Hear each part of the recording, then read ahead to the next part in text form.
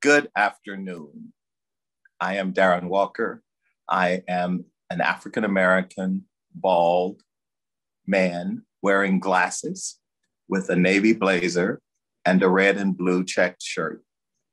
I'm in my library with books behind me, and I want to welcome you to Ideas at Ford and the occasion of a conversation with a remarkable woman named Julia Sweig, who has produced a, a book, uh, a book of another remarkable woman.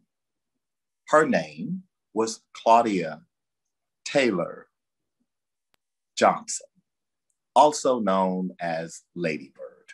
And this book, In Plain Sight, is a masterpiece. It is the result of years of meticulous research and a creative writing style that is unique in biography.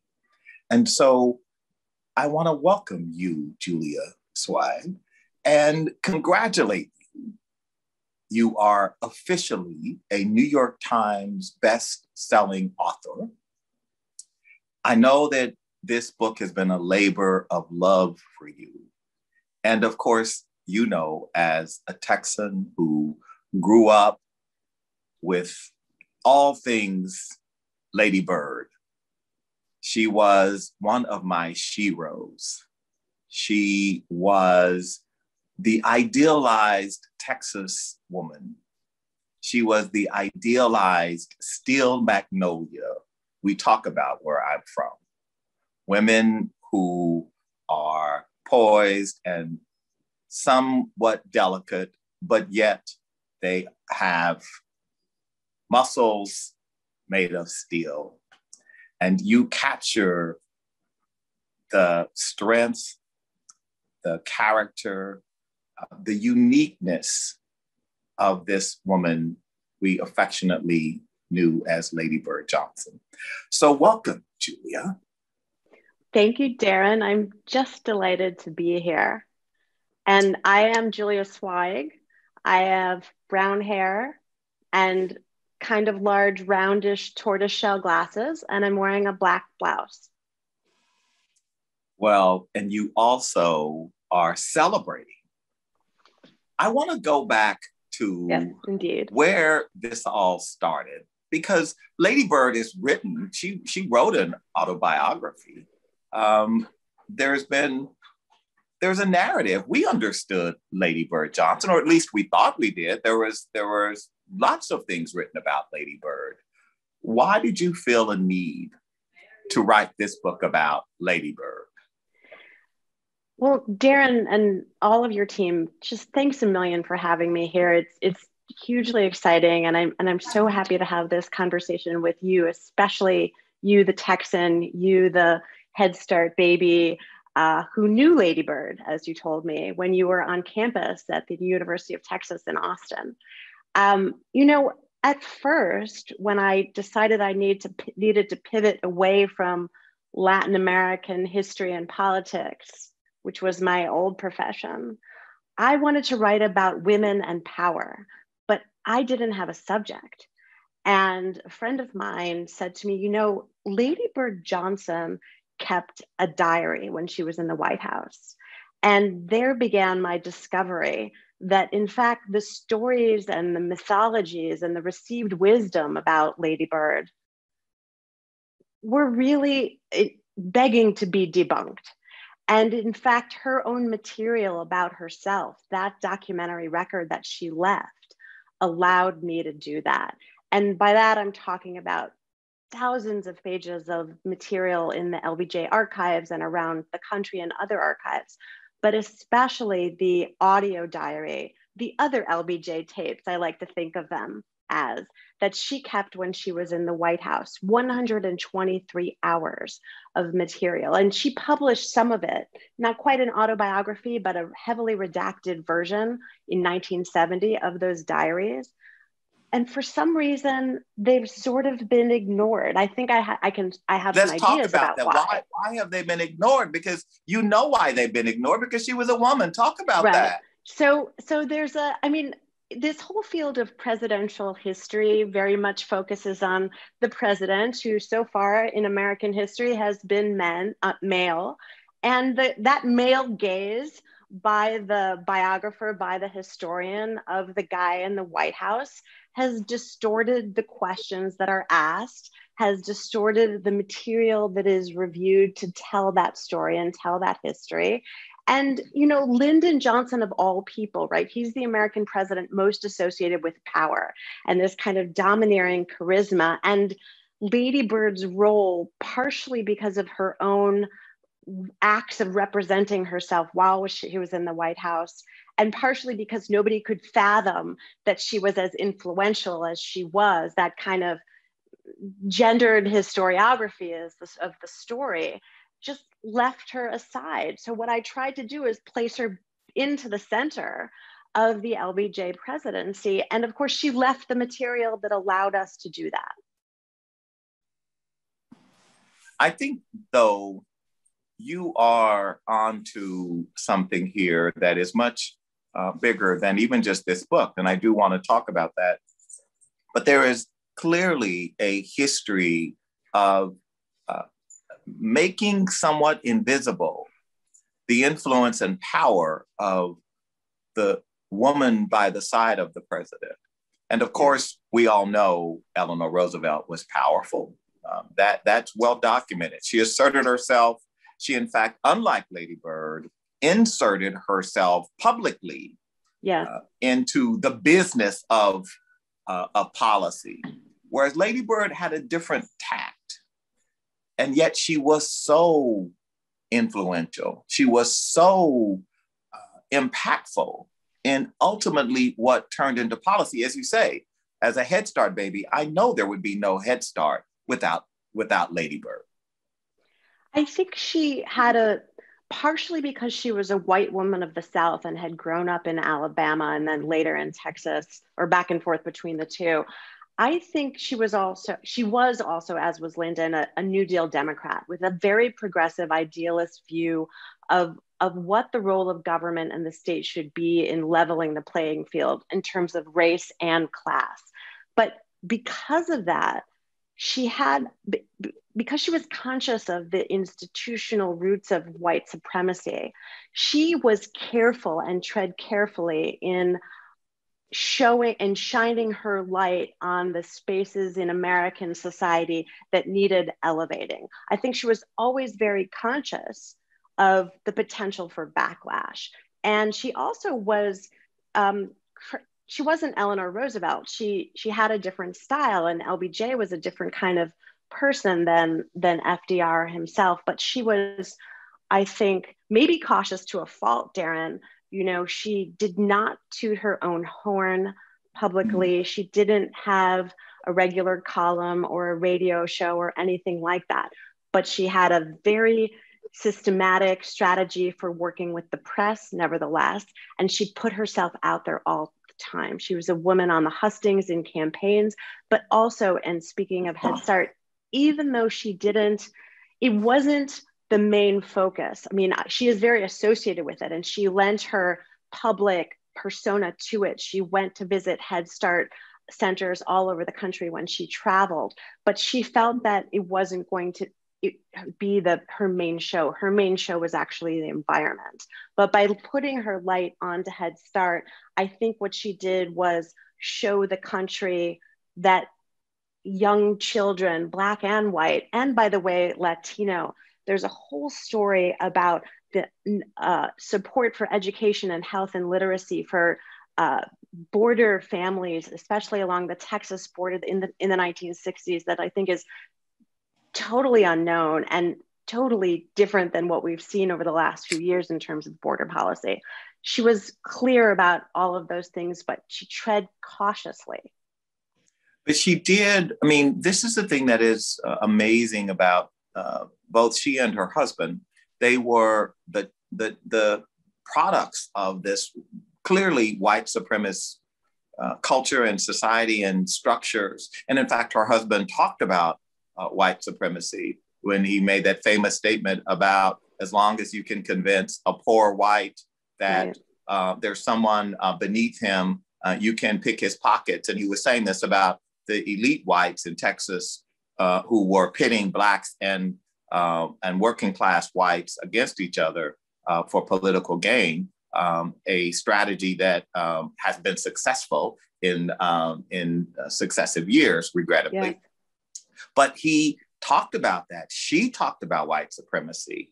Um, and they were radicals in some way. I mean, I think the tragedy of Johnson and and it, that that era is they were they were social radicals for for uh, for their time, for their background, for their and and the tragedy, of course, which we'll get to of Vietnam, which which completely uh, uh, eviscerated uh, their their reputation, his reputation, um, and and and and and erased so much of uh, the good he did um, because of that um, horrible mistake of, of Vietnam. But talk about the sort of things that we uh, we might not know that you learned about Lady Bird that would surprise us. Um, and, and there's some things I, I know I'd like to bring up, but just I'd love to hear your thoughts on that. Sure. And, and, and I agree with you about their radicalism. They're radical for today's Democratic Party. You know, they're they're very, very surprising in in in their radicalism. And I haven't used the word radical to describe them. I often use the word progressive, but given how much the debate and the country's politics have shifted over the last four decades, five decades, they really were. And it's astonishing. And we'll come back to the, the way Vietnam derailed them and undermined them. A couple of things. Um, Lady Bird's power and influence is exhibited, and you see this in the documents, in crafting the entire arc of the Johnson presidency, this is number one, the chronology. We all know that at the end of March 1968, Lyndon Johnson announced that he would not be running for another term. He stepped out of the 1968 presidential race, and it came as a huge surprise. In fact, to almost everybody, almost everybody but Lady Bird, going back to May of 1964, I found a document. Now they're only five months into the presidency after the Kennedy assassination, which in which Lady Bird lays out this arc. Lyndon is insecure. He doesn't know if he does run in 64, whether he'll be able to win and keep the country united. And he's also seeing that civil rights are stuck in the Congress, and pressure to escalate in Vietnam is growing, pressure from the Kennedy War Council that he kept on. So he's tormented, and he asks Lady Bird to lay out the pros and cons for him of running or not running. She lays this out in what I've called now the Huntland Strategy Memo. The document I found in the library, pretty much ignored by all the historians, which says, look, you're too young to retire now you need to run again and you'll probably win. And when you win, we can then have three years and a few more months to do our best. It won't be easy, but in February or March of 1968, you can tell the world that you won't be running for another term. And that is precisely what he does. And we can see in her documents and her diaries the way she pushed that strategy forward with him, the way they planned it together. And this joint political enterprise that they were running together in the White House was something that was already well established by the time they came into the White House. But over the course of the presidency, especially after they lose one of their closest advisors, Walter Jenkins, which is an important story. Yes, we'll come back to Walter Jenkins. Okay. She becomes really his his most trusted closest advisor i don't know if she had a security clearance darren but i know that she was in the room and reading documents and she said as early as 1966 that two-thirds of what the two of them talked about was vietnam Moreover, on the policy side of the Great Society, Lady Bird took the environmental portfolio. And that's, I think, a wonderful story about her. And it, it, it goes to this kind of um, you know, not only her name, Ladybird, but also this signature policy beautification have these kind of benign, feminized words to them. In fact, what was beautification? It was a radical environmental vision that tried to bring together, especially in Washington, D.C., access to nature for the most underserved members of this majority. I'm in Washington now, this majority Black city at the time with civil rights and representation. That's what she was about because she believed from in her bones that access to nature for all Americans was what and is what makes us feel whole.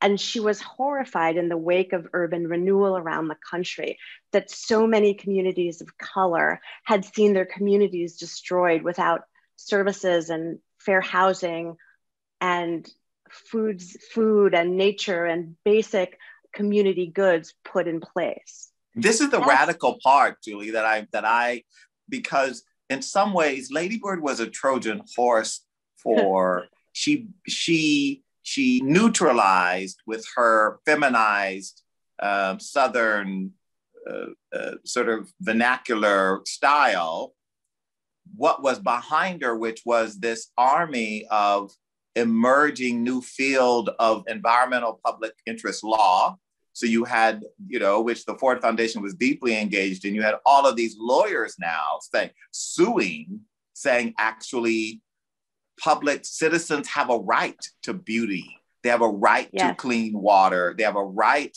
to their air. They have a right to have open space. And Jane Jacobs and all of the things that were emerging, right. she really put um, um, an attractive um, somewhat palatable face on what was a pretty progressive, out there, pioneering agenda.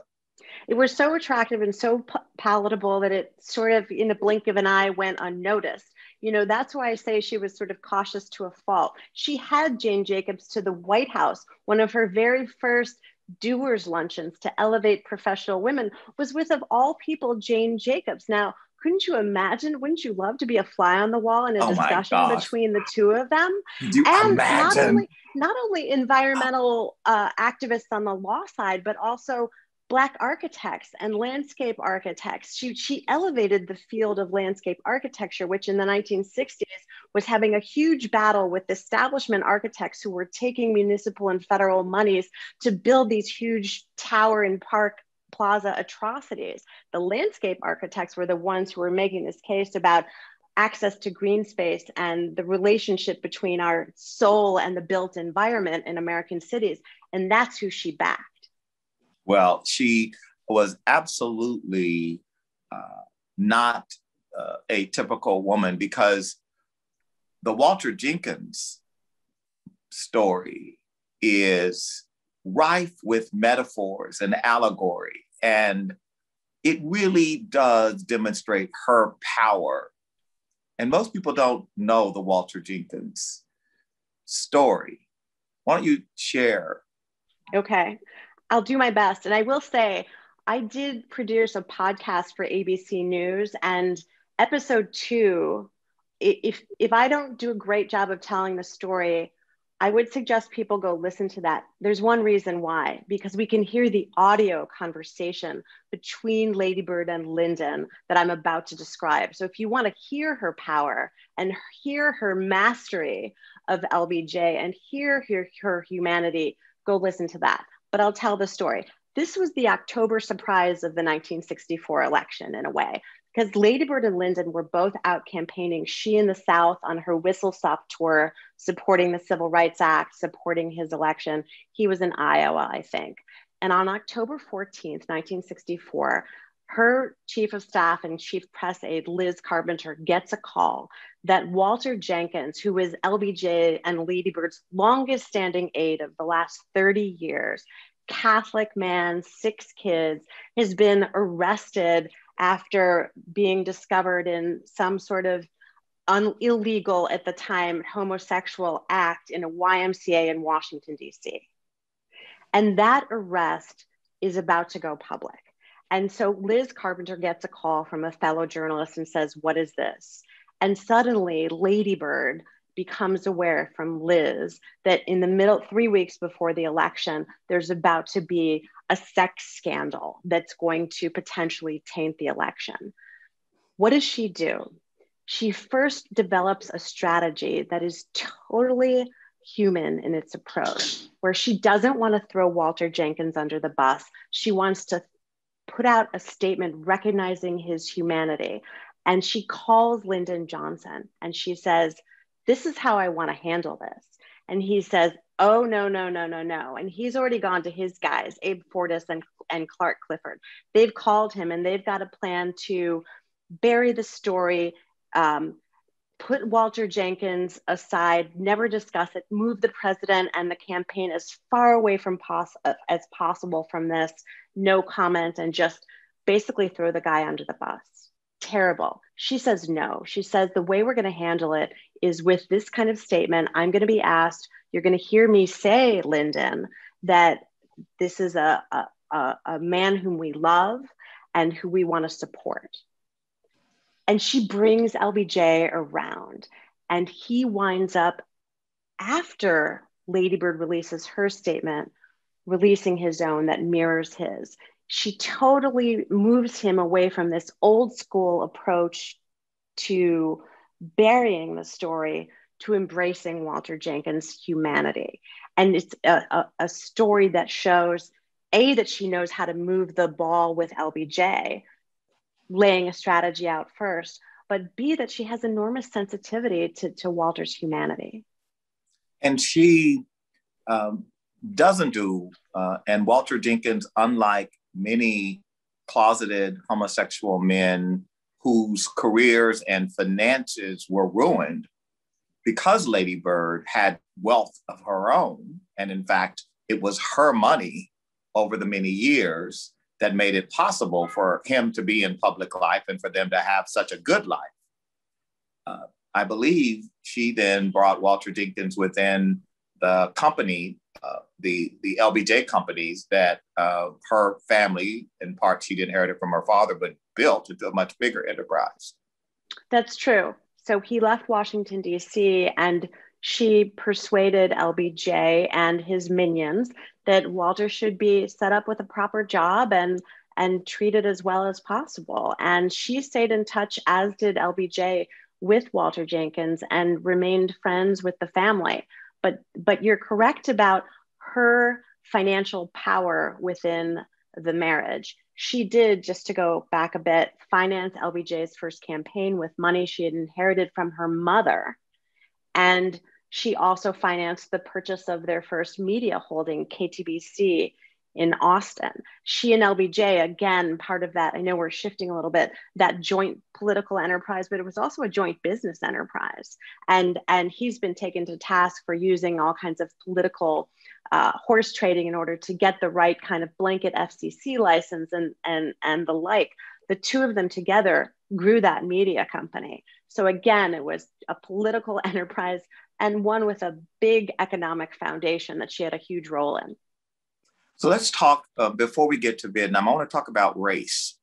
Sure. Because uh, the Johnson was very clear that the direction of the com- of the country was moving away from him. Um, she was very clear that what they were doing was angering uh, and potentially alienating uh, working class, especially working class whites. And in fact, Johnson famously said that the South was going to be lost and it was just a matter of time. As he was trying to keep things together, and we remember the, the famous uh, Atlantic City Democratic Convention and Fannie Lou Hamer and the Dixiecrats and all of that narrative. Um, how do you think they, from the standpoint of race and Lady Bird, took on this issue genuinely, sincerely. But did they really believe in their rhetoric? Did she really believe? Do you believe Lady Bird believed in equality? Oh, I think she absolutely did. Yes. You know, I think she was torn about how quickly she, people in positions of power could move vis-a-vis racial equality in the country. I think she was alert from the very beginning to this potential white backlash. And, you know, when she traveled through the South to campaign for the Civil Rights Act, she was attacked verbally and even with death threats. So she was aware, I think, that there would be a backlash, but she was also aware, you know, there's this wonderful scene during on the weekend of Bloody Sunny, Sunday in Selma in 1965 when she talks about her childhood growing up 25 miles from the Edmund Pettus Bridge. And she talks about the necessity to avoid insanity of getting the second civil rights bill passed, the Voting Rights Act passed. So she was very much within that tension of, of knowing what the right path forward was, but anticipating the backlash. And then, Darren, there's another piece to, to her approach or, or, or the way our racial dynamics in this country confounded her and LBJ, which is that when the riots in American cities began, and, and I like to kind of deconstruct that word and think of them more as political uprisings against police brutality, against housing unfairness, against lack of jobs, so similar to our racial reckoning today. When those riots, when those uprisings began and proliferated, she was totally confounded because I think she also underestimated, as many liberal reformers did in the 1960s, the depth of the structural roots of supremacist institutions and how incredibly angry and uh, and needy needy of of radical change Americans felt themselves to be. They thought that change through the courts and legislatively over time would in fact level the playing field. Martin Luther King has that speech about, you know, I don't have time. It's the last speech he gave at the National Cathedral before he was assassinated. Don't tell me that I should be patient. I'm paraphrasing really badly here. I think that there was this tension between how much time does the country have to make these reforms take root. And she was taken aback by the urgency that so many felt. And she was taken aback, I think, because, like many uh, reformers, progressives, even, uh, radicals, even, uh, she thought of things through a framing that really was enshrined in so many ways. In fact, we have a there was a board meeting, the Ford Foundation in the 60s, and the theme of the board meeting was the Negro problem in America. Right? And and and this was from a progressive, this was from McGeorge Bundy's, or I mean, the, the, the challenge is even for a ladybird, even for the most progressive, the idea was we have this problem with Negroes in America. We have this problem in Negro communities. And I think the Kerner Commission, which you have studied, the challenge for the Johnsons with the Kerner Commission report was that it put squarely the problem in America as not a Negro problem, right? But actually a problem of white people in America. Correct. Correct. And and that is why the Kerner Commission was basically buried I mean, that is why the report was never uh, fully embraced uh, by the president, who had uh, had orchestrated it with and with right. with the promise that it would be uh, a path forward. And in fact, what the commissioners said was that the problem we have in this country is what you just described: institutional racism and white supremacy, and white supremacist ideas imbued into the structures of our very democracy. And that was just too much for them. I mean, that that that the problem can't be with white people. I mean, the problem with these these burning cities is is with Negroes who are burning them down. And I think that was the hardest thing for people like Lady Bird and Lyndon to really embrace, particularly because they so genuinely were committed and they had so genuinely taken the heat um, for for being truly um, yeah. sincere about racial equality. I, I, couldn't say it better. I mean, the story of the Kerner Commission is wild because I recommend everybody just go and read it because it is it is a radical document. I believe almost every member of the Kerner Commission was white. There was one woman on it, Katie Peden, and the language and the uh, edginess of it is is astonishing. And so Lyndon, who by February of 1968, when it came out, you know, it's just this man had had enough. He couldn't. He there was no way he could turn where he could get anyone to cut him any slack, and he felt really well he was exhausted that's why he got out and and he knew he wasn't going to be able to but it wasn't just that it was buried you know he had all kinds of concocted ideas about conspiracies and uh, he kind of got into that nixonian paranoid attack the media mode and ladybird herself probably in her post presidency i would guess there were some seminars at the lbj library about the kerner commission that she encouraged but at the time they couldn't digest yeah. it well, before going to Q&A, I will tell you that my, you referenced that I was lucky enough to know Mrs. Johnson and, yes. and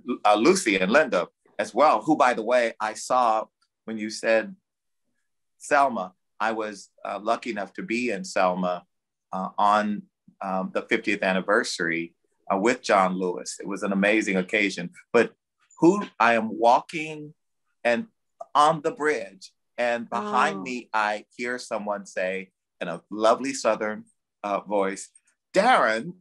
And I turn around, and it was Lucy Burke who, uh, of course, I know from from Austin, and Linda. She was with Linda Robb, and we just it was such a wonderful uh, meeting, and we talked about Head Start and her mother because they knew. But I was lucky enough because I received some award when I was in in in college that the the big payoff was that I got to have uh, lunch with Ladybird once a year at the faculty center, and it was well. Tell us amazing. about that. No, no, I I'm gonna get, but no, it was it was it was. She would say, you know, the thing that she said when we first met was, "I wish Lyndon were alive because this is what he hoped for." And and when I told her about, you know, I was in the first class of Head Start and and my background, and that I was at UT on scholarship and uh, a Pell Grant, which they had also, as you know, uh, been been supportive of. Um, she was she and she was just very proud. And whenever I see Lucy or Linda, they always they remember that I was a Head Start kid, and they always say, you know, mom was so proud. I had dinner with. Um, I was down and gave a talk at the LBJ school last actually in February of 2020. Um, and I had dinner with um, with Lucy, and we talked about this and her mom, and no, it's just amazing. Anyway, it's time for Q and A because okay. I know we've got lots of questions for you, and my esteemed and inimitable colleague Sierra manages the Q and A part of the talk. Well, thank you so much, Darren, and thank you, Julia, for that conversation. We have a ton of questions here. Uh, so I'll start at the top. Um, somebody said, We love this conversation and am moved by Ladybird's belief in access to nature, access to beauty as a necessity to making us feel whole. How can we embed this into public policies, such as the new infrastructure bill? Why are these necessities still treated politically only as afterthoughts or nice to haves? Uh, well, let me, let, as Bill Clinton would say, let me take the second question first. Um, I, I think we still have um, a long way to go in integrating that essential understanding of human needs, frankly, that access to nature is essential to us feeling whole. I don't know why it's so complicated, right? It should be pretty straightforward. But what, now that we have a, a, an enormous amount of public spending about to happen, I think now is the time to try to make sure as infrastructure is built, we go back to the moment when Ladybird was receiving, and perhaps Jill Biden will be in a position to do this, or somebody in the White House. Communities need to become very active right now in registering what their criteria are for this huge explosion in infrastructure construction if that's what we're going to see. I mean, what happened after the 1950 highway, uh, interstate highway system bills were passed and all of this money was flushed into the system was that there was no regulation and no community, not initially, very little community input.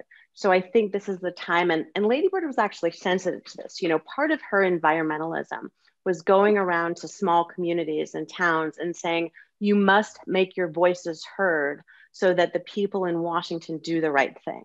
And I think that's exactly where we need to be again in communities expressing what they want and what they don't want, want with the spending of these federal dollars. Thank you. So there's a, a couple of questions here about Robert Caro and his research on the LBJ presidency. Um, and, and people are struck by what a terrific writer Lady Bird was and that she really hasn't been mentioned in some of these other volumes. Uh, why do you think that is? That, you know, Robert Caro and others have not really addressed the importance and impact of Lady Bird? I'm glad to have these questions. And I would say there's a couple answers. Number one, uh, Caro, I would place into that context of a historian or journalist who is very focused on the protagonist male in the Oval Office. And importantly, because that individual, and Caro does write about this, because LBJ d- did have this pro- proclivity toward vulgarity and also infidelity, those two aspects of his personality, I think, wound up allowing people like Caro to treat, to paint Ladybird as LBJ's victim, to deprive her of agency within that joint enterprise that was their marriage and was their professional career together. Um, the second thing to be very clear is that Caro's volumes stop in July of 1964.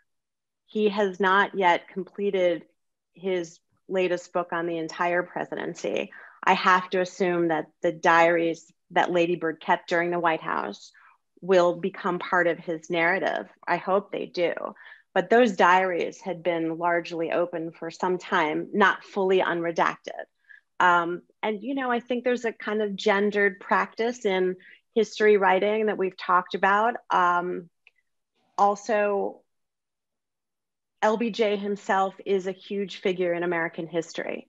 And so just getting one's arms around the story of LBJ's political career is a Herculean task. When you bring in that jointness, when you bring in another central character into the story, I mean, it would take two lifetimes to do justice to the Johnson presidency if Lady Bird were centered the way I've tried to for his entire career. But you've made it impossible for Caro, final volume, to be written in a way in which Ladybird is a victim. And I think. Thank you. I hope so. And I think this is uh, uh, uh, endemic uh, of the kind of writing that comes from male uh, journalists and male historians and biographers who can only see through uh, the lens of their own gender what power actually looks like. And as you say, the fact that he was a philanderer did not make her a powerless wallflower uh, in their relationship. And many women have knowingly understood their husbands philandering and still been able to establish and sustain powerful partnership with them for significant impact on the world for good. And obviously, she was, as you document, she was very well aware of her husband's philandering. Um, she did not excuse it, um, but she was not paralyzed by it. No, Darren, she wasn't paralyzed by it. And also, you know, she was, Lyndon was a very complex person emotionally and psychologically. And he, because he relied on her so totally by the time they got into the White House, she derived enormous power from that position. So in a in a multiple decade layered marriage that they had, you know, I, I'm not at all excusing it. I'm simply saying that her substance and her agency and the power she exercised over him had to at a certain point compensate or at least somewhat neutralize the sting of that element and that's what we don't see in caro yet and we don't see it yet and we may not see it in anyone. It's we not, don't. not just, we don't. it's not until your book we have not and we've not seen it in her writing. I mean i mean you know she has been she was never fully willing to publicly acknowledge and own her power, like lots of women of, of uh, years past. But I do think that your book will be a marker on how the Johnsons are, are written about the treatment of them uh, in history in the future. Sarah, Thank you. So um, many people are curious about Ladybird's background. Uh, they want to know where the nickname came from, but also where did her sense of social justice and racial justice come from? Um, they're also curious about her political profile after leaving the White House and after um, Lyndon's death. You know, I'm not sure that I can completely pin her sense of social and racial justice on one particular incident. She was raised by descendants of enslaved people. That's who gave her her nickname Ladybird, which stuck. She was orphaned, not orphaned, I, I mis- misspoke. She was she lost her mother when she was five years old. She was raised in part by her caregivers and also by an aunt from Alabama and her straight out of a Tennessee Williams play, Father. Um, you know, LBJ's own sensibilities around race and class really influenced hers. You know, they came from different social strata. But when he was in his 20s, he was teaching young Mexican children on the border. You know, my husband's a fifth grade teacher, and he always says to me, you know, anybody who in their 20s is out there teaching kids on the border has to have a sensibility around race and class. So if you think about LBJ's own origin story in terms of him becoming who he was by the time he was in the White House, that's very, very important. And it really did affect uh, Lady but, but, you know, there's plenty of progressive white Southerners who early in the 20th century had strong activism around leveling the racial playing field. And that's where she came from too. As far as her post presidency, you know, um, the Johnsons didn't have anything that we would recognize as a work life balance, and they would have laughed if they had heard that expression. They were constantly mixing the two together. So and Lyndon Johnson died in 1973. He died on the day that the Roe versus Wade uh, decision was issued by the Supreme Court. And actually, there's a little story about their support for Planned Parenthood and universal access to birth control in the book as well. So she had more than 30 years after he died of her post presidency. And she spent it with her kids and her grandkids traveling around the world. But she also had a couple of institutions that she cared a lot about. One was UT, she was on the, the board of governors there. She was also on the board of the National Geographic Society. She kept a hand in the family business. She built, which is what is today a fantastic environmental education institution, which is called the Lady Bird Johnson Wildflower Center, but has a big environmental component to it. And she was uh, incredibly important in the institution of the LBJ Library. Hers was the decision to release LBJ's tape tapes in 1995. Hers was the decision to err toward transparency as much as possible in the uh, material and access to historians and researchers at that library. So she continued her journalism, history, environment priorities, even bringing access to nature in Austin, Texas.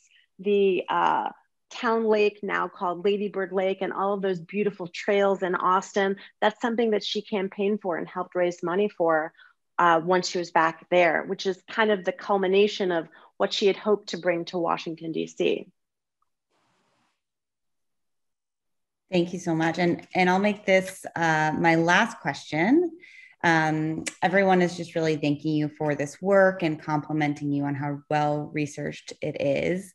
Uh, a couple folks want to know if there are any surprising revelations that are not included in the book that you want to share oh, surprising revolution revelations. Not well, the first version of this book was 800 pages long, and I had to cut it by 300 pages.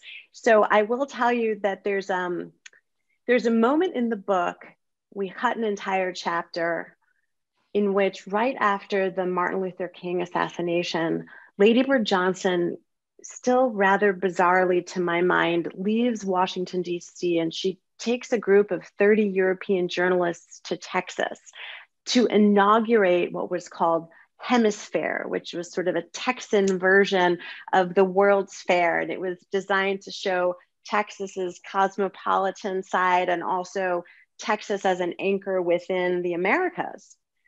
So she went to HemisFair, it was in San Antonio, Texas, and HemisFair was built. This isn't a revelation, it's just a story that I'm sad isn't in the book on land in San Antonio that had been raised for urban renewal.